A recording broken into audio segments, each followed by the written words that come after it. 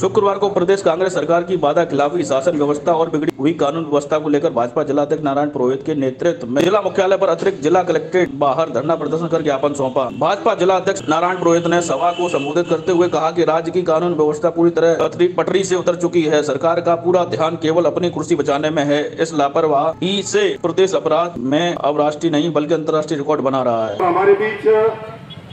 शहर ग्रामीण मंडल से सभी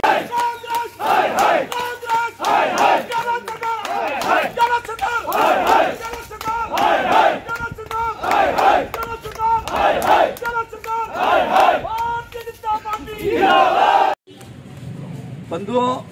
कांग्रेस की सरकार में जनता में त्राईमाम त्राईमाम हुआ है, पानी की समस्या है, बिजली आती नहीं, बिल के झटके बड़े बड़े आते हैं,